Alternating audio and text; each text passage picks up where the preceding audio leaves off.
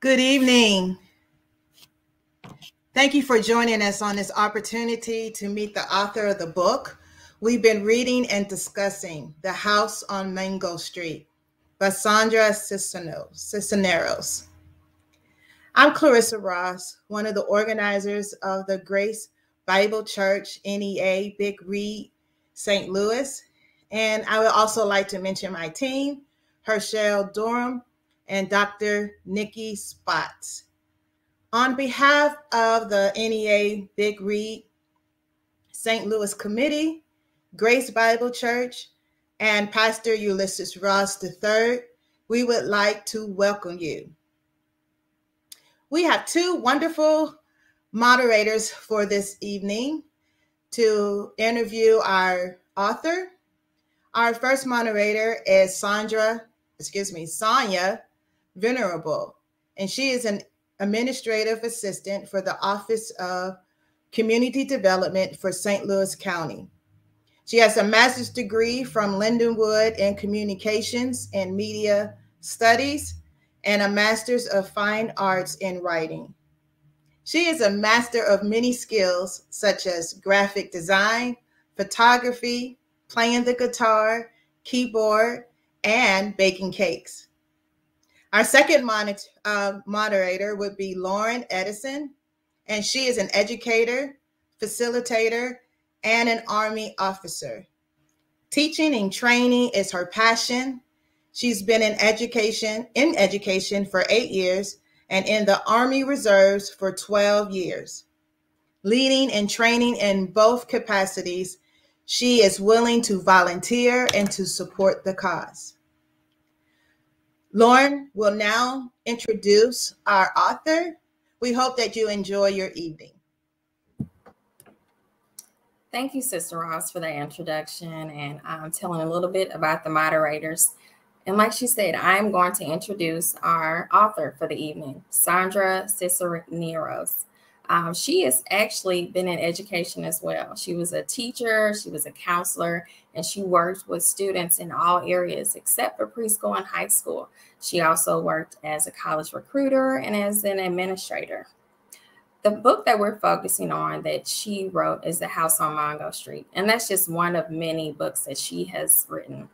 The House on Mango Street was published in 1984, and since then, she has sold over 6 million copies and has been published and written in 25 languages. Um, just a little more information about her. Um, I actually went through her about me section, and there's so much to know about her. She's a uh, has accomplished many things and had many accolades. But just to name a few, um, she's recently received the Frederick Douglass 200 Award. And she also received uh, many honors from universities in the world. Um, she's also, um, she also, I'm sorry, but she has also been honored um, by um, um, Barack Obama most recently. And hi, Lauren. Hi, how are you? I'm good. Thank you for having me. I appreciate it. I'm speaking to you from Mexico City. Oh, thank you. I'm in Florissant, Missouri. good to see you. Thank you for joining us this evening. And just to get started, um, just a light question I would like to ask you um, what was your thinking when you decided to write the book? Um, what were you thinking for the readers? And, you know, why did you feel as though this book would be useful to our readers? Okay. Well, um, you have to take into account that I started this book when I was 22 years old. And I didn't, I was almost, uh, you know, at the end of my education. I was in graduate school. And I finished it when I was 28, thanks to a National Endowment for the Arts grant. So we've made full circle. Thanks to the NEA, I fin- I got to quit my job and finish the book. And now, all these years later, I'm 67. Uh, you know, I'm I'm visiting you all, and uh, the the book began from a moment when I was in a classroom and we were talking about our homes, our houses, and it was the very first time that I ever was aware. I'm almost done with my education, and we've never talked about economic class. We've never mentioned it. And I didn't realize that I was carrying within me a, a, feeling of shame about the neighborhood I came from, from the house I came from. I didn't realize I was carrying this until we had the seminar where we talked about our homes.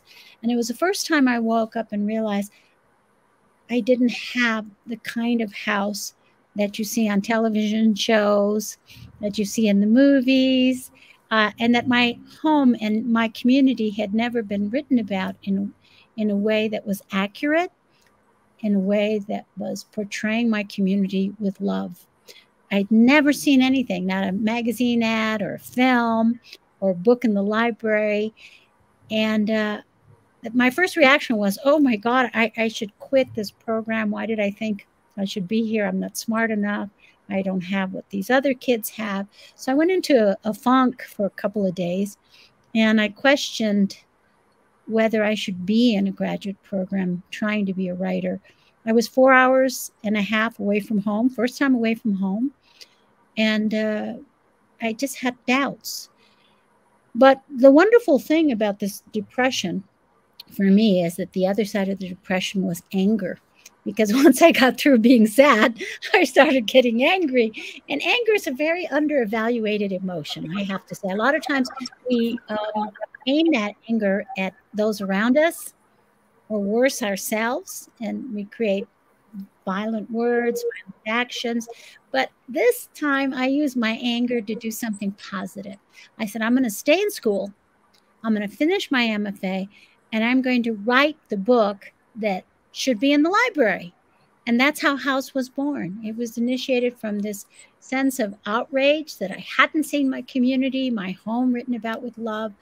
And I did begin it with with shame, but by the time I finished the book, I came to some completely different place, just like the protagonist. You know, she comes in just saying, Oh, this neighborhood is terrible. I don't want to belong here. But by the end of the book, you know, she's fallen in love with the people from the community and she has a mission. So that all came to me as uh, the 22 to 28, very crucial time in a woman's life.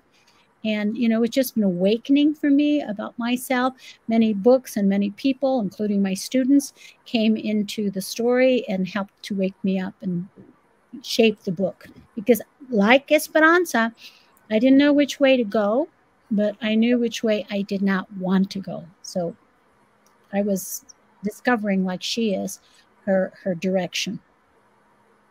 Okay, thank you so much for that. Um, I would say um, your response really resonates with a lot of people. And I think the times that we're going through now, um, that really hits home. You know, a lot of people are experiencing depression, especially a lot of shame. So that's mm-hmm. really fitting. Thank yes. you for sharing. And you know, one of the things that people don't realize, and I'm going to say to this community specifically, you know, uh, when I was leaving uh, my graduate school experience, a friend of mine took me to see the autobiography of Malcolm X, the documentary, and then I read the book, and I was like so awakened by that book that it became the text I used to help my students who were having reading issues. We, we read, hmm. read the book. That was my text of choice. But for me, it was so um, enlightening hmm. that character Esperanza renames herself. It's influenced by uh, Malcolm X's book. And she names herself Zeze the X that X is from autobiography of Malcolm X on awakening in me, of feeling like as women that we also inherit names that aren't ours. We're inheriting, you know, a, a patriarchal name, and we don't know our real name. So that's I want to just tie that in to how uh, the book for me as a young girl who didn't know my own history as a Mexican American began that search during the time I was writing this book. Wow, that's amazing how that all comes full circle. Thank you for yeah. sharing. Yeah, and then like you know everything else would follow. You know that that I would start learning about uh, the civil rights movement, uh, Black civil rights movement, how that allowed me to go to college, and I started learning about Latina feminism because the white feminist movement didn't make sense to me. You know, everything started. Uh, you know, actually, when I was leaving college is when I started learning the most. And I've never stopped searching. You know, it's like right. when you start realizing, hey, how come I didn't get taught this? then you start like, you know, digging in the rubble and looking in the footnotes and searching your entire life. I'm 67. I'm still not done searching. I'm mm-hmm. still learning. And it's all because a lot of the history that we have to learn as women, as people of color, as people who have been colonized and who also have colonizer blood in us too. Yes, you know, yes. We've got to we've got to uncover our history yes. and we have to look in like the margins for our story because it's not being taught to us. Yes. Yes. Okay, I guess I'm I'm on now. okay, so we polled a lot of people and the first question, one of the most popular questions that came up was about the rice sandwich. Uh, people wanted to know what type of rice and what type of bread would Esperanza's mother have had. well, let me tell you, that chapter is autobiographical. So I'm going to tell you the real. Uh, you know, I always say all, all, the parts of the story where Esperanza's smart and she does something that is like really bigger than most human beings that's what i wish i would have done. But all the ones where you know it's embarrassing those that happened to me. So that one about the sandwich in, in real life you know my mother wasn't a, we didn't have a lot of money and we ate a lot of poor people's food so we ate white wonder bread you know the okay. kind of spongy bread not very nutritional and you know kind of rice we had because we were mexican was spanish rice you know made with tomato sauce and fried so you can imagine what that looked like on white bread after a couple couple hours. so not very tasty looking. And you know, it kind of made the bread all smushed and stained and it was very starchy. But that's what we had in the fridge and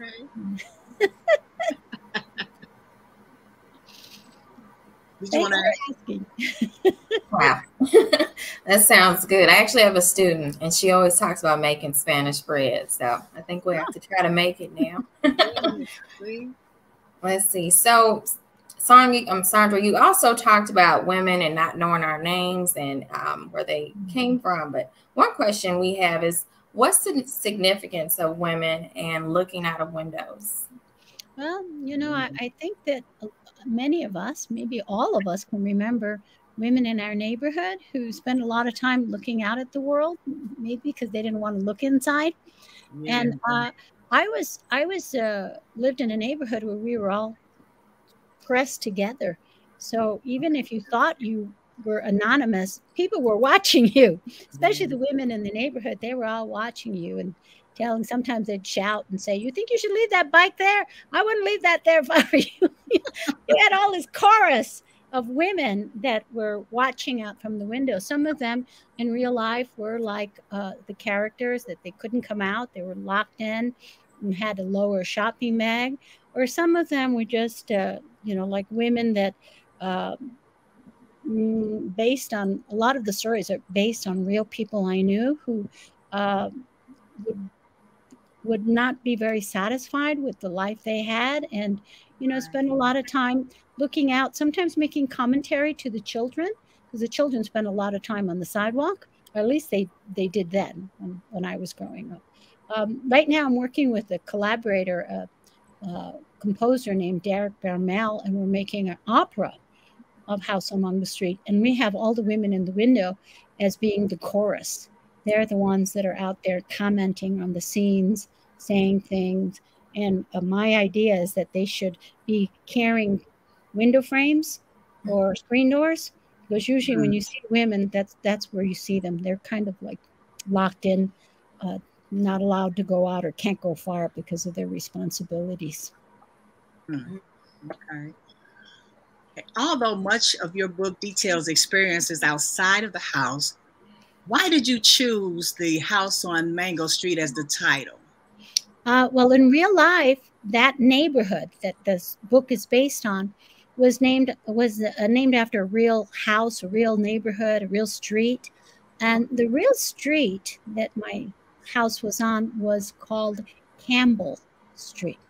Okay. There's a picture of it of the real house in my book, A House of Her Own. You can see what the house really looked like. But I couldn't name it Campbell Street because of the soup and I had to think of something that sounds like Campbell, but doesn't have anything to do with Campbell. So, you know, I kept saying it in my head, Campbell, Campbell. And then I, I thought of things that reminded me of Mexico, and my favorite fruit is a mango. And, and there really is in Chicago Mango Avenue, but I didn't know that. At the time, you, you couldn't Google anything like that. Uh, so I just said Mango Street, and I, I had no idea that real people would someday ask me about the real Mango Avenue in Chicago or about mango streets in their city. Okay. I wasn't so good at lying when I was a young writer. You know, I had to base things on reality. So that's why I had to lie to myself to get something that sounded like Campbell but had nothing to do with Campbell. Huh. That's that's actually really brilliant. well, you know, a lot of you know when you begin, that's that's how you go. You don't know that you can invent. Right. You know, this this question actually had a second part, so I'm gonna continue that if if that's all right with Lauren. Um, but it asks, what does it reveal about your connection to your family, your home, and your neighborhood? My book? Yes. Well, I guess I should ask the readers that. I, I think that uh, um, my family is a very close was a very close one. My mother and father are gone now, mm-hmm. but still here in spirit. Uh, and I, I think my mom, especially, you know, she grew up uh, with parents who couldn't read or write from the countryside in Mexico who fled uh, the Mexican Civil War. So uh, she she learned English, and her parents couldn't help her with their her schoolwork. She was a young girl who quit school at, after she started ninth grade because mm-hmm. she felt ashamed of her clothes, just like the character's mother in the book. And she always regretted that. My mom, she regretted that she didn't have an education. She always instilled in us, her seven children, that it, it's so important to go to school, and uh, women especially need it, to have independence and, you know, my mom just was one of those uh, people that uh, pushed us to study, took us to the library on Saturdays, took us to the museums, took us to concerts, anything that was free for nine people to go to, we were there. And so she was, um, you know, her hunger for learning was something that uh, opened a path for all of us. My dad also, uh, he was different. He came to this country during the uh, Second World War and was mm-hmm. drafted, served in the army, became a U.S. citizen. He was not as creative as my mom, uh, and my mom was really the brain of the operation. But my father also regretted that he had quit his first semester at university. He came from a mm. middle class. He didn't come from country people like my mom. He was from uh, urban Mexico City, middle class grandfather my grandfather was a army man colonel. So my, my father could have had a better life if he had stayed in mexico. But because he ran away from his father uh, after the first semester in college he had very bad grades and my grandfather was a military man very strict. My father was afraid of his father and he vagabonded north wound up uh, getting drafted uh, because he had false papers and served in the army under a false identity for half of his term. I don't know how he straightened it out, but he did. Became a U.S. citizen and always regretted that he hadn't finished his studies. He hadn't faced his father and gone to school. He would have had a, an easier life. But he learned a trade, became an upholsterer, worked with his hands, and and told us, you know, use this, don't use this. And he would show us his hands; they were all scarred yeah. And you know, so you got a team of a mom who wished she went to school, dad who regretted he didn't go to school, and that's that was um, that was a gift they gave us of that. You know, got to study, got to go to school, and uh, I don't think any other family in our block had that combination of determined parents. Right. Make sure that was something, you know, like my mom never made me learn how to make tortillas or change a diaper Mm. I hmm. still don't know how to make coffee. okay. my mom, when she saw me with a large she left me alone. I mean, I had chores. I had to wash dishes and help her clean up. But if I had a book in my hand, to her, that was more important than learning how to cook. That's great. That's yeah. really good. Thank you so much for sharing that. Um, Sandra, I want to say the more that you tell us about your background, I see that we have so much in common mm-hmm. uh, with your family and the military background and your parents really valuing education. Um, so I'm really enjoying this interview so far. But I, um, so my next question I want to ask you. Um, so you start off telling us in the house on Mango Street, and it says, "I'm going to tell you a story about a girl who doesn't belong."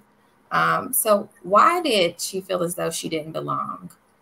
I, I think sometimes when you're a, a studious girl, uh, you know that it makes society sometimes or your neighborhood or your girlfriends or make you feel like there's something wrong with you because you like to read or you like to you know most artists are very introverted mm. and uh, you know I, I was also an only daughter so that also made me feel very lonely in my family because my brothers were outgoing and um, i just spent more time by myself so i'm thinking that that's probably where that came from when I wrote that. I, I feel that sometimes as uh, artists, uh, we have a very rich inner life, and society doesn't want us to go inside. They want us to come out and be join and be social, and we we don't always understand that some children uh, need solitude and they need to nurture themselves and do well you know so it's you mm-hmm. know my family was kind of like that you know if i was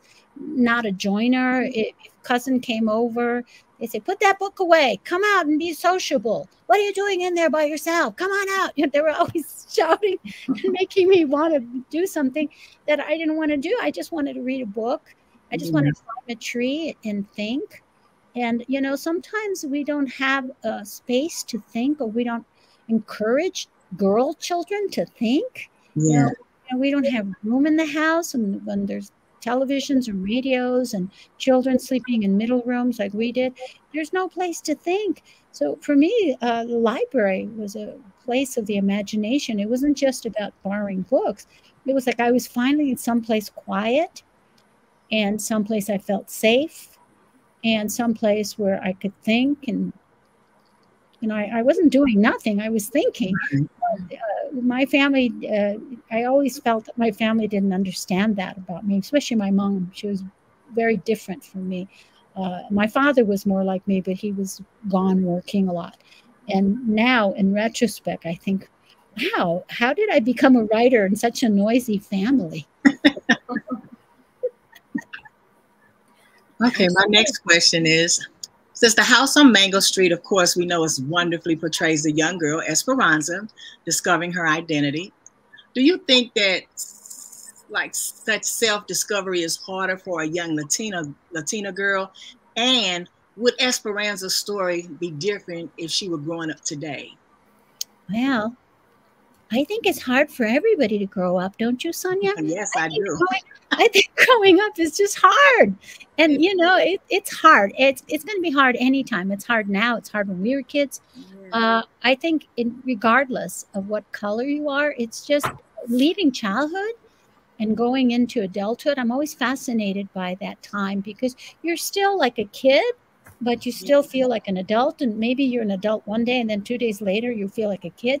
You're, there's this magical time you know, that you're moving back and forth from. I tried to write about that you know like esperanza wants to run with with lucy and rachel who are younger but she's also very attracted to sally and her power with boys but that's also scary you know so all of that you know there's a, i thought about that that time in my life and i also was a teacher with high school dropouts. I had girls who and boys who had very difficult lives harder than mine.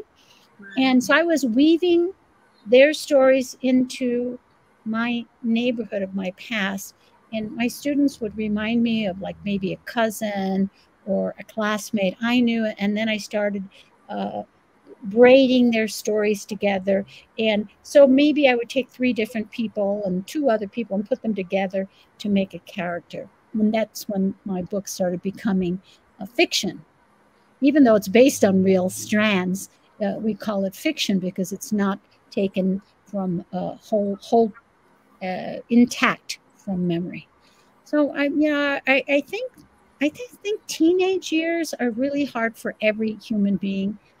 And uh, especially if you're living in a community where you don't have a lot of resources, where it's very fixed about how you should be as a girl, and very fixed about how you should be as a boy, and there's not a lot of leeway in, in our society. But maybe that's true even if you're a kid in China. I don't know, I didn't grow up in China, but I can imagine it must be very, very hard for everybody, no? Yes, I agree. Yeah. And you know, and it's especially hard if um, you're a very shy child. Uh, you're a child who can't express themselves. and defend yourself. I was one of those girls Yeah. that never could talk in school, Right. and uh, now I'm making up for it. But back then I didn't talk, and I felt very uh, shy and ashamed. Um, I, I had a lot of issues about uh, my clothes. I had issues about like my nose. You know, I love my nose now, but back then I didn't see it on a magazine cover. Right. Right. You know, I had issues about like, you know, was I smart enough? Maybe I wasn't smart.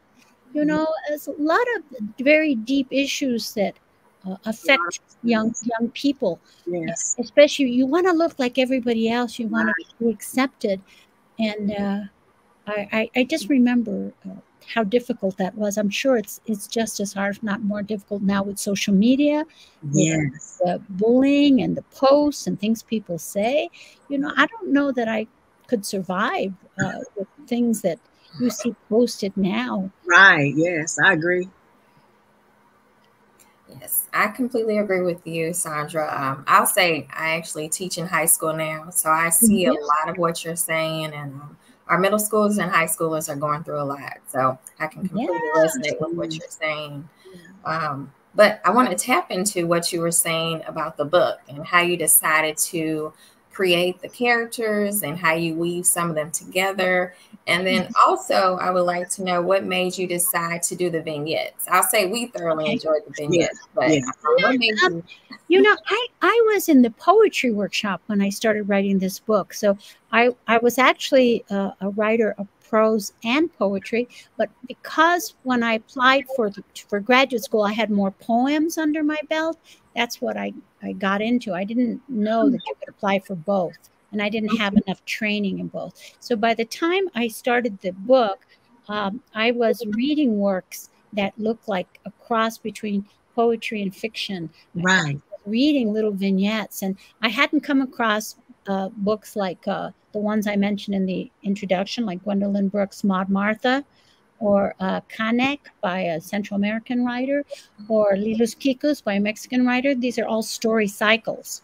And I didn't come into contact with them until I was older. So I thought I was just inventing.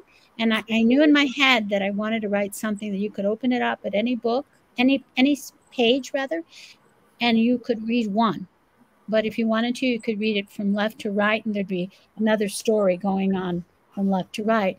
I was thinking about how, like, people like my mom or my father, or people that drive buses, or people who are hairstylists, you know, they don't have a lot of time. So I was thinking, like, maybe if, if I could write these little pearls in a necklace, and that people who don't have a lot of time could just read one. So exquisite. you know because i i like reading one page stories and those are hard to write because you've got to get everything in there and it's got to Mhm. last line's got to fly it's got to be Mhm. like a poem the last line doesn't end on the page it, it ends in here you got to think about it and that's what i was trying to do by by writing the vignettes Okay, it's really good. So I'm going to jump down to the Red Clown chapter. Uh, does Esperanza, does she ever tell her parents about what happened in the Red Clown chapter? That's you know what? I'm glad you asked about that because that's the hardest that was the hardest chapter for me to write. I don't read it unless i have to like when i recorded i recorded the book for audio. It was really hard for me to read that chapter.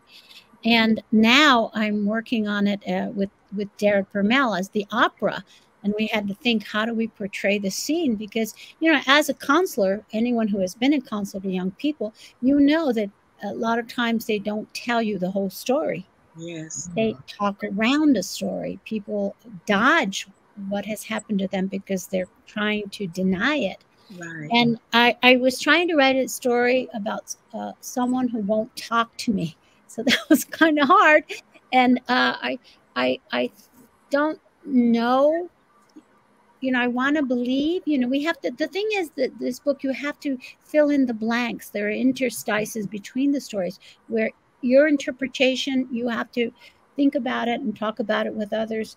If you can argue your point of view, it's, it's fine. I don't have one definitive way of saying she did this, she did that. I, I Mhm. try to write just enough so that the story can take off in, in your heart and then you can dialogue about it. So you, you can make all kinds of alternatives of what happened between that chapter and the next.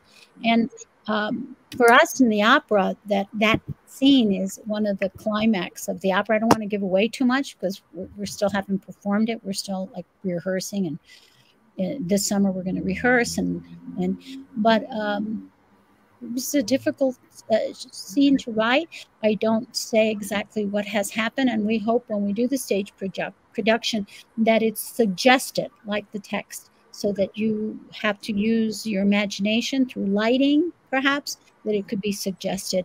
And um, I think the issue of violence, and especially uh, sexual violence, yeah. is one that's so important because uh, a lot of times we shy away from talking about it. And I'm happy that the book is being used in many uh, sent places that I didn't imagine it be used at, so that women would have language to talk about their own issues. Yeah, because there's so many women that have those issues. So. Yes, yes, absolutely. Yes. Um, thank you for sharing that. I'll say during our book discussion, we interpreted your vignette so many different ways. So. And, and, you know, and, and everybody's right. There, I like to tell students, isn't it great? There's no wrong answer. You know, you can read it how you read it, and your own life is going to shape how you see this book.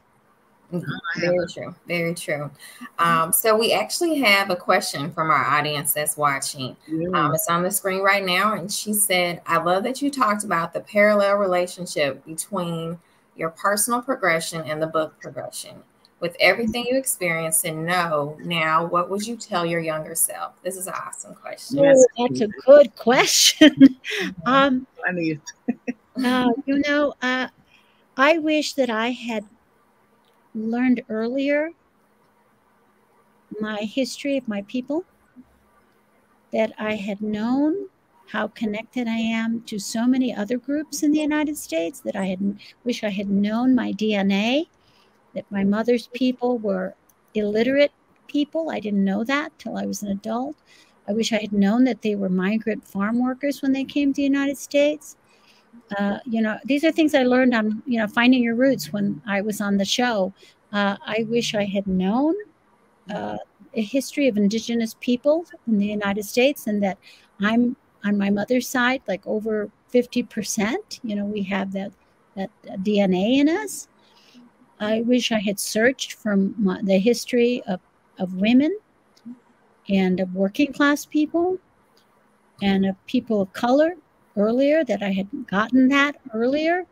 I mean, it, it came to me eventually, little bits and pieces, and I'm still learning.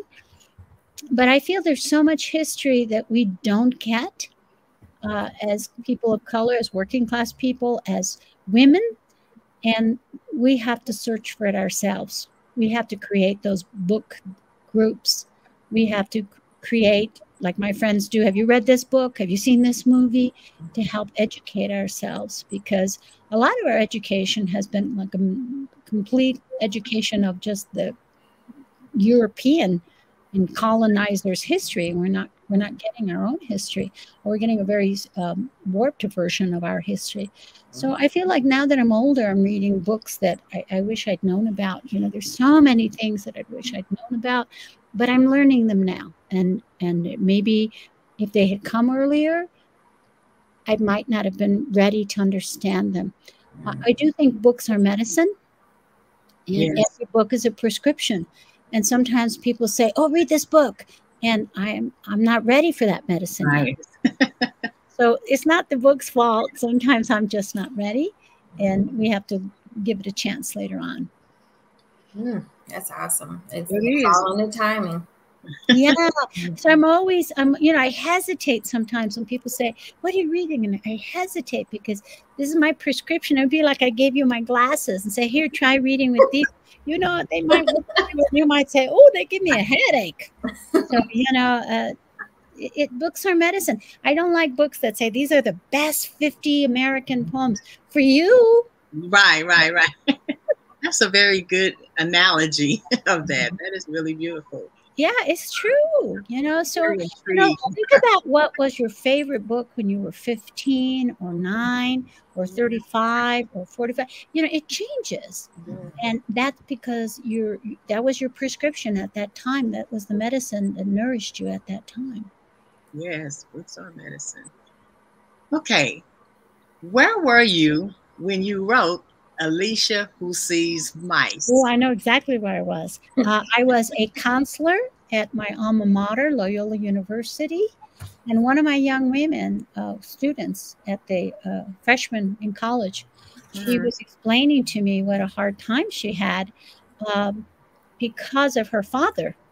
And, you know, her father, who was not college educated, didn't understand how many hours she needed to put in, unlike high school, to just keep up. You know, she had to stay up late and get up early. Um, the part about the tortillas I took from my mother's friend uh, who had to, you know, that wasn't part of my student story. That was part of my mother's friend when she, her best friend had to get up early every day and make the whole family. None of the store bought. She had to make fresh flour tortillas for the whole family before she went to mm-hmm. school. So I took these two stories and put them together. And maybe I put a third story, and that's my fear of mice in there because that's my kryptonite. So I put that all in there. And I just felt uh, listening to this young student's story, uh, her pain, because, uh, you know, she wants to obey and please her father, but she also can't explain to him how difficult and different being in college is from being in high school. Hmm. Thank you. Let's see. So everyone is so excited about this interview. I'm getting questions um, in the chat on my phone, and just trying to decide like what should we ask. But yeah, and also if people if people think of a question later and say, "Oh, I should have asked her," you can still reach me on my website www.sandracisneros.com. There's a letters you know that you can write to me and uh, ask me things, and I do answer all my mail. Okay, we'll keep that in mind. Thank you so much. Mm-hmm. Uh, I just received a question, and it's about the colors and how they're used in the book. Um, mm-hmm. There's a lot of reference to red, mm-hmm. green, mm-hmm. yellow, and blue. Oh, there it is right there. Mm-hmm. Could you tell us about that? Mm. Well, you know how when you go to sleep, you have a dream and you dream and you wake up, and you think, oh, that's very interesting. And, but you don't know what dream means. You have to go to the wise neighbor lady or the therapist to tell you what it means. Well, my mm-hmm. stories, when details like that, I, I don't know what it means. You have to tell me what I meant because I just dreamed the dream, but you analyze my dream. Ah. Wow. Okay. I, when you go right. to bed, you don't think I'm going to dream a dream with red, green, and yellow. You just dream. Sounds like a flag yeah but but you know what it means you know I, I think that there are meanings there that's why we have critics and students who analyze stories i just don't know it because i haven't i haven't uh, analyzed it deep enough myself mm, i like that and i'm sure as the students have read the book in middle school and high school it has gone so many different ways and interpreted yeah. Yeah. I like the questions that the children ask me because they're not scared to ask questions. You know, like they'll ask me things like, How many years have you been wearing glasses? so those are cute questions that I, I like because no reporter is ever going to ask me that. right. Let's see. How long? we were talking about before that I want to remind this audience uh, before we started taping was that you have to remember House on Mango Street is not a Latino neighborhood. Wow. There are people of all colors. And when I'm working on the opera now, I've had to remind uh, my collaborator, you know, this is going to be a very multicultural cast because in real life, my neighborhood wasn't a Latino neighborhood. I never say that. It was a mixed neighborhood that was Black, Puerto Rican, Appalachian, Ukrainian, Polish. Uh, you know, we just had all these different kinds of communities that were all living on the same block because it was cheap, not because they wanted to live next to right. each other. And, you know, a lot of the changing neighborhoods, I like that. You know, when the story begins, Cathy's moving out. So, you know, people are moving in because the, the rent is low or the mortgage is low or whatever. So, uh, you know, I want to remind people that, that if you read this story correctly, you will see that there's lots of different uh, kinds of people living on this block. Hmm, okay. Um, one of the questions that was asked is, how long did it take you to get the house you wanted? Oh, well, all right. Now you have to not confuse the protagonist with the author because the author was writing from uh, her autobiographical neighborhood. And then she started changing this autobiographical neighborhood to incorporate her students as she was discovering her path, her her uh, profession, and her politics, yeah. and her, her, education. You know, she she made her her little character be the little puppet, so to to kind of explore things that she in her life. But I never expected that people were going to confuse me with the character. That that's mm-hmm. how naive I was and uh, you know i didn't and the book is really not about a physical house although that's what esperanza wants but she's really looking for a, a, a, a creative space of her own you know some place that she it, it, you know she thinks that it's a house but it's really more than that and uh, I, so i hope readers will understand that as for me however I, I never expected to own a house because i was a writer and i was an english teacher and i was college recruiter and I was the director of an arts program and I never made a lot of money. So I never expected to own a house. And uh, I was also like a part time professor, one semester here, one semester there. I, I, just wasn't in, you know, I just thought, you know, if I'm lucky, uh, I'll, ha- I'll have a job as a teacher and I'll have summers off. Uh, that was, you know, and, and if I'm lucky in the summertime, I can write so I never expected to own a house. And uh, I moved to San Antonio, Texas because of a job. And when I was about 40, I was encouraged by my accountant and my agent that I should buy a house, that that was a good time for me to buy a house. And I thank those two women because I was a single woman. I was freelancing. I never made the same amount every year. And I was scared and they told me you can do it. Buy a house. This is a good time for you to buy a house in Texas. And I thought, really? You think I can pay for it every year? Yes, get it.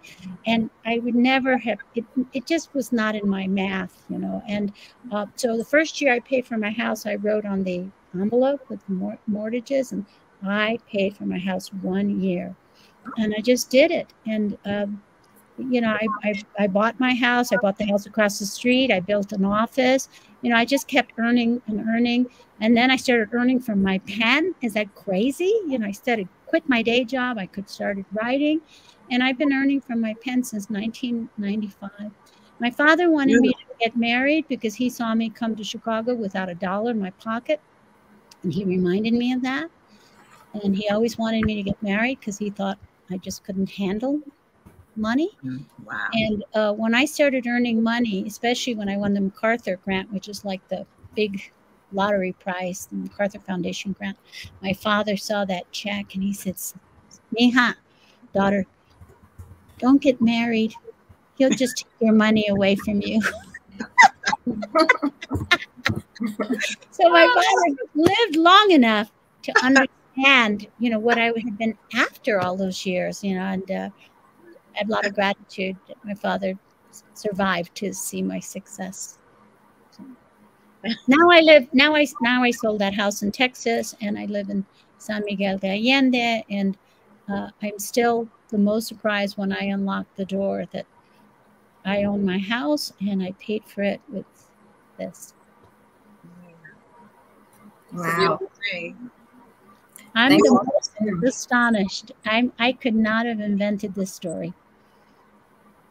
I agree. It's a beautiful story, and I'm sure so many people listening can. I feel very story. blessed. I get thanks every day. Mm-hmm. I this is full circle. You know, the grant that the NEA gave me allowed me to quit my day job and finish the book. And look at all these years later, I'm talking to communities across the globe. I I feel in my heart that uh, I did something with uh, pure love. I wrote it with love, with no no agenda, no ego and I think that's the secret of the universe. Whatever we create with love, on behalf of those we love, with no personal agenda, with no ego, is always going to turn out well. You'll get something sometimes better than fame and glory. You get something better. Yes. It might not be what you think, but I truly believe whatever we invest our whole heart in with pure love on behalf of those we love is always going to bring us something beautiful. Yes. That's what I learned. That's what House taught me. Okay. Yes, that's beautiful. Thank you. Thank you very much. So we actually have another question from the audience. Uh, and they asked, actually asked, when did you start writing? I started writing when I was 11 years old, and uh, I started uh, in secret. I would read poetry in my textbook, and I also was the artist in the class. You know, I drew, but I started uh, writing with, you know, drawing with words uh, around 11 but but not showing it to anyone. It was just a secret, and I did that on my own all through middle school.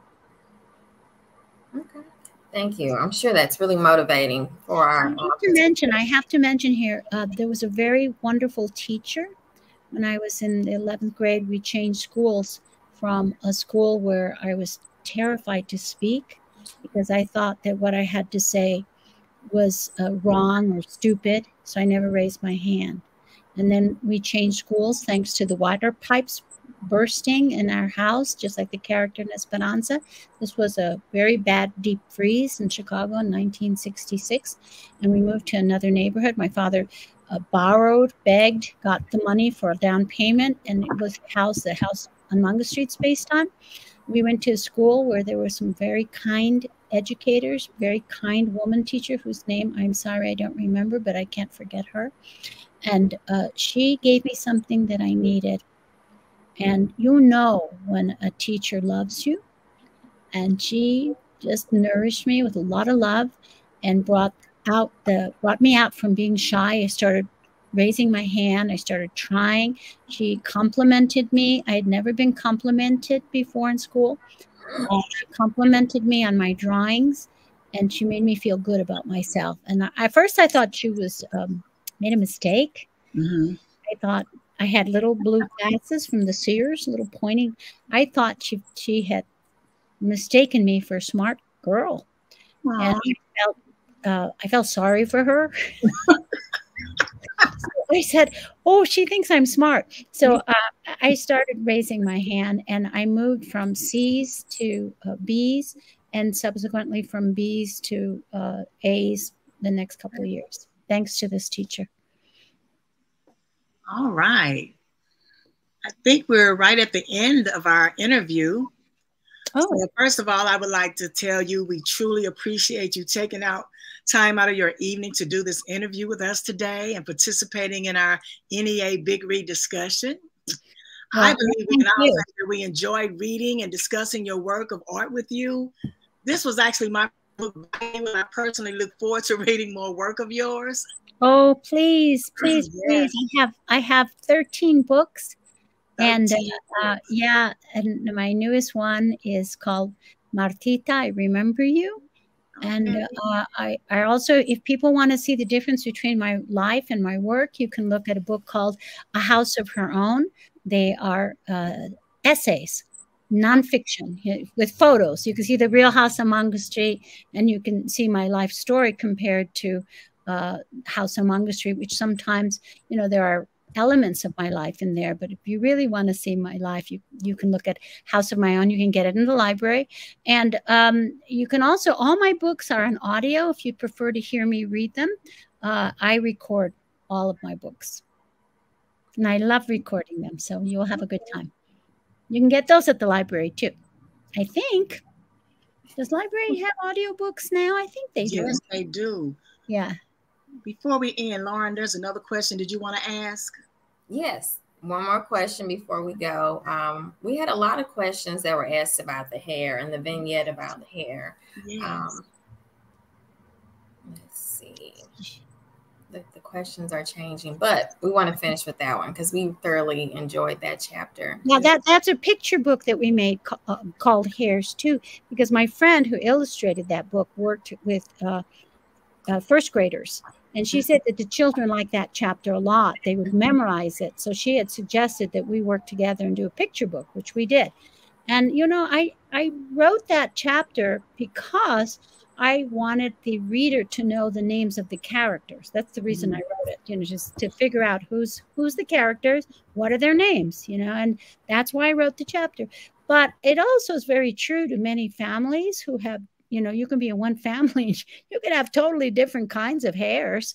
And mm. certainly that was the case in my family where you had people that had curly hair and some people that had hair like corn silk and some people had wavy hair and some people had hair like a broom. You know that was my family because we had nine people and so I, I tried to you could tell i wasn't adept at handling many characters. So um, the family in esperanza has only there's only four children unlike my family that had seven kids cousins coming in aunties uncles grandmother grandmother I, I didn't know how to handle that.